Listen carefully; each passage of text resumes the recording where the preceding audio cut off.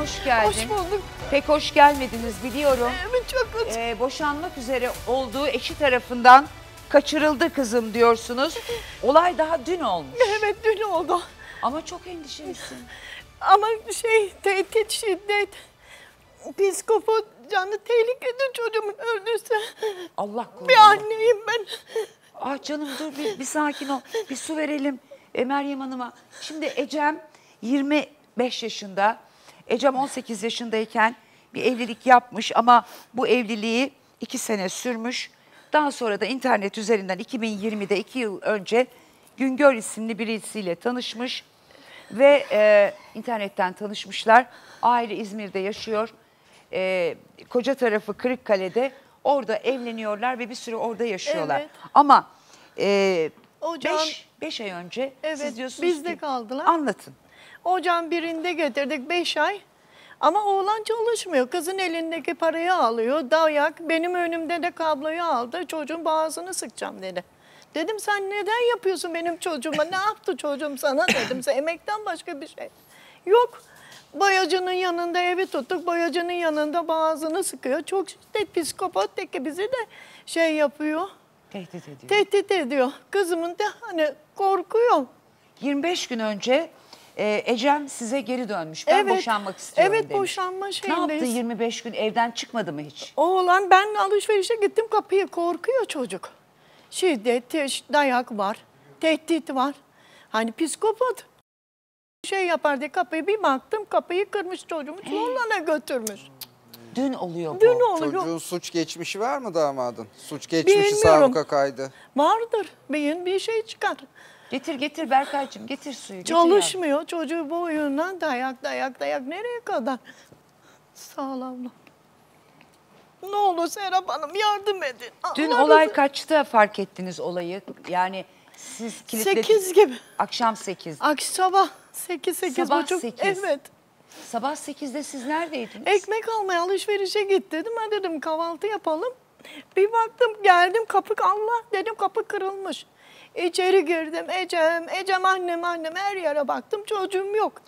Evde ikiniz misiniz? Başka kimse yok mu evde? Yok babası vardı işe gitti o.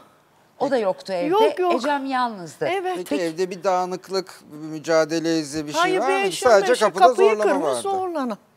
Hani pijamaları Ama filan. kapıyı kırdığına göre kapı dışarıdan kilitlen kilitliyorsunuz. Kilitliyordum hani çocuğa gelir bir şey. Çocuğum korkuyor. Psik belli değil. Komşular şahit olmuş mu? Ses olmuş mu? Kapıyı sonuçta kırmış veya Herkes yatıyor avukat bey. Herkes yatıyor. Ne olur Serap Hanım. Bir şey söyleyeceğim. Ee, kapıyı dışarıdan kilitlediniz ya. E, içeriden de kendisi uyuduğu için kilitlediniz herhalde. Hayır iç kapısı açık. Hani elinden şey açabilir ama korkuluk var. Korkuluğu ben şey yaptım kancayı kilitledim ama gelince kapı açık kırılmış kilit. Kilit nasıl kırılsın Peki canım? 25 gün önce gelmiş ben boşanmak istiyorum diye Evet. size. Bu 25 gün içinde düne kadar hiç evden dışarı çıkmadı mı? Hiç çıkmadı. Ne Hiç yapıyordu evde? Evde şey dikiyordu böyle kumaş şey. Yani dışarı çıkmaya korkuyor muydu? Korkuyordu. Kocası Bizden bir giderdi, bizden bir öyle hiçbir yere çıkmaz. Korkuyor. Tehditler üstüne tehdit savuruyor.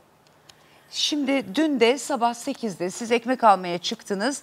İki tane Herhalde kapı benim- olur ya bir sokak kapısı bir de onun dışında herhalde demir apartman dairesi mi burası? Yok birinci kat. Birinci kat. Evet. Ee, ve kapı kırılarak dün akş- dün sabah 8'den sonra bir daha kızınıza hiç ulaşabildiniz mi? Ulaşamadım.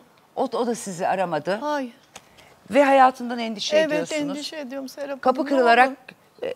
Bir anneyim ne olur ciğerim yanmasın. ay Allah korusun durun ne olur. Ne olur bir Serap.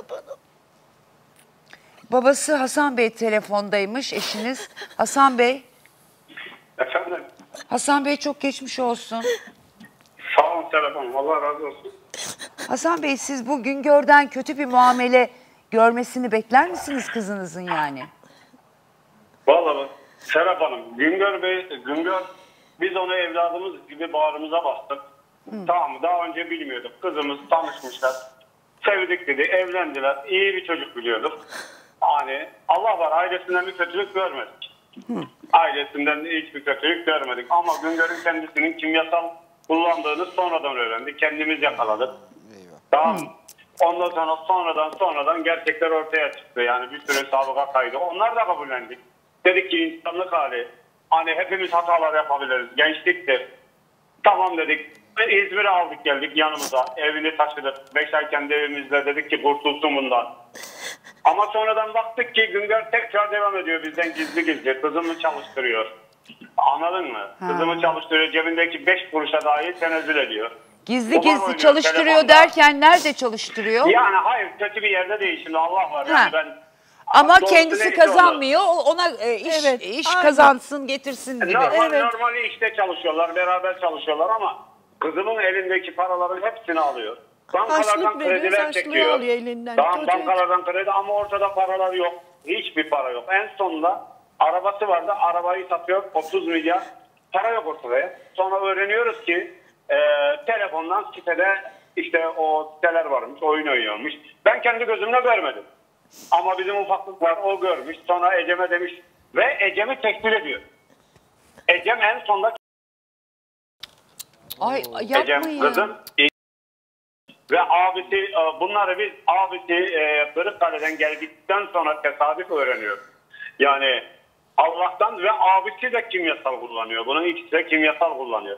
Şimdi kızım gitmeden bir gün önce gitmeden gün göre bir gün önce biz daha önce gittik. Boşanma davası açtı kızım. Baba Açtı, dedi, bu beni ha. Açtık. He, Boşanma açtı. davasını açtı. Ertesi gün kaçırıldı mı yani? Hayır, Evet. boşanma davasını biz e, 10 gün önce açtık. Gittikten sonra hemen açtık.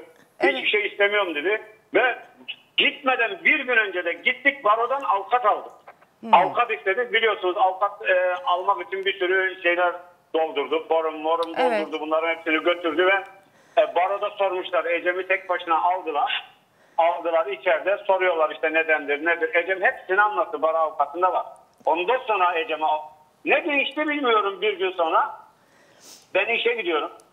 Eşim de bizim bir ufaklık var Elif diye 8 yaşında biz büyütüyoruz onu. Allah nasip etti öyle. Hani kurban olduğum Allah'a şükürler olsun. Ee, onu okula götürüyor. Oradan da ekmek almaya gidiyor eşim. Bir geliyor ki asma kilit var. Ah, Bir de e, demir kapı var. Normal kapımızdan hariç ar- kapı yaptırdık. Demir kapılar oluyor ya. Evet. Öyle. Asma kilidi kilitlemiş ama geldiğinde bir bakıyor ki asma kilit açılmış. Hasan Bey, Kapı açık. Meryem Hanım Eşim- bir şey soracağım. Bu 25 gün içerisinde sizde kaldığı süreç içerisinde kocası hiç kapıya dayandı mı? Yok öyle bir şey olmadı. Görmedim. Yani geri dön falan ne bileyim. İstemiyor. Ya Boşanmayacağım. telefonla görüşüyorlarmış. Hır- Bak, telefonla, te- telefonla görüşüyorlarmış. Ee, gizli gizli bizden. Ecem de şimdi onun sesini duyduktan sonra kızıma bile kimyasal içirmiş ya. Ve bunu kızımı tehdit etmiş. Bunu babana söyleyeceğim diye. Hayır, Kızımı, gizli e, gizli görüşüyorlar derken Benle- e, barışma ihtimaline karşı siz kızınıza baskı mı yapıyordunuz? Sakın abi bir daha görüşmesin. Onunla bir daha bir şey olmaz gibi. Evet biz, biz doğrudur. Aynen biz kızımıza Acaba kızınız de- o zaman kendi isteğiyle de kaçmış Yani asma olabilir mi? kilidin anahtarı kızınızda da var Hayır mıydı? bende. Yok. bende. Yedek yoktu Ama yani. şimdi Yoktu. bak ben şöyle söyleyeyim. Ee, Güngör geldi götürdü kapıyı kırdı diyemem. Hani ben gözümle görmedim. Kızım da belki benim bildiğim kızım kendisi açmış gitmiş. Kilidi nasıl açtılar bilmiyorum. Ama Güngör geldi ama gelmedi. Yalnız şunu biliyoruz biz. Ee, ben baba kayınpederiyle konuştum. Ee, kızımın kayınpederiyle konuştum. Ee, Ecem buradan bilet almış. Biz garaja koştuk gittik. Garajda belki yakalayabiliriz diye. Kardeşim, eşim ben. Hani e, e, Ecem'in annesi Meryem. Böyle gittik ama bulamadık. Sonra öğrendik ki ben aradım kayınpederine bak dedim böyle böyle durum. Bak senin de bir kızın var. Oğlun kimyasal kullanıyor. Oğlun vazgeçmek için buraya geldiği halde vazgeçmedi. Kızıma bunu bunu yapıyor. Yarın bu kimyasal maddesini ve senin büyük oğlun da bunu içiyor. Ve şu anda hepsi bir aradalar. Ama Ecem ne için gizli bu görüşüyordu? Biz görüşmesini istemiyorduk. Çünkü kumar oynuyor, kimyasal kullanıyor, kızımı çalıştırıyor, beş kuruş hep parasını hep alıyor. Yani ortada para yok. Bankalara dünya borç. Biz ayırmak istedik. Doğrusu buydu. Hani kimseyi e, tamam önceden kabul ettik yani. Sağ Ama e, Meryem Hanım bir saniye Meryem Hanım çok hayatından endişe ediyor kızının. Ben çok Siz korkuyorum. daha rahat Evet görünüyorsunuz biz de ama ben çok Bak, biz- ben korkuyorum. kızımın Serap sesini Hanım. duydum. Ben kızım bugün beni aradı. Yani kızımın sesini Aç- dün ben duydum. Aa. Eşinize Ee, söylemediniz mi? de dün akşam Telefonu açıyor. Ben açtım mı cevap vermiyor ne, bana. ne, ne diyor size? Şimdi hayır bak ben bir e, rahatsızlık geçirdim kalp krizi gibi. e, onu, onu da duymuş. Herhalde Meryem ona söylemiş galiba dün. Ben kayınpederi de dedi ki Hasan Bey kızınız bizde. Yani geldiler biz merak ettik çünkü telefonu yok parası yok cebinde. Nasıl Aa. gitti? En sonunda garajdan bunlar almış. Hani dedi Ecem evde geldi. Hani bunu bize söyledi Yani telefonla. Kırıkkale'deki evine geri döndü öyle mi? Aynen. Babasının evine. Aynen şimdi Güngör'ün- yani kimseyi ben karalamak istemiyorum. Doğrusu neyse onu söylüyorum ama biz kızımızın o adamla bir kimyasal içen şimdi kimyasal bir içen bir insan eşine içirme içiren bir insan nasıl ona sahip çıkabilir? Kırklığa kadar boş hep çalışıyorlar hep çalışıyorlar gece gündüz çalışıyorlar ortada bir şey yok. Ama kızınız Evet. da bakın hem boşanma davası açıyor. Sonra gidiyor barodan avukat alıyor. Bir günde dediğiniz gibi ne oldu ki o kapı İşte kırılıp ondan kırılıncaya kadar. Daha- Serap Hanım, Ha, Daha yani- önce tehditte bulundu ya kızıma. Telefonla konuştukları için bu Güngör dediğimiz şahıs tehdit etmiş olabilir. Bu Evet. tehdit Ha, ben de kardeşi acaba üzerinden diyorum, olabilir. acaba tekrardan Kardeşi böyle üzerinden şey mi olabilir. oldu yani? Annesi üzerinden olabilir. Babası üzerinden olabilir.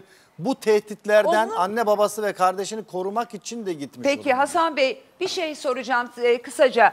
Dediniz ki babası burada dedi ama siz kızınızla konuştunuz mu? Sesini duydunuz mu? Konuştum konuştum. Bugün sabah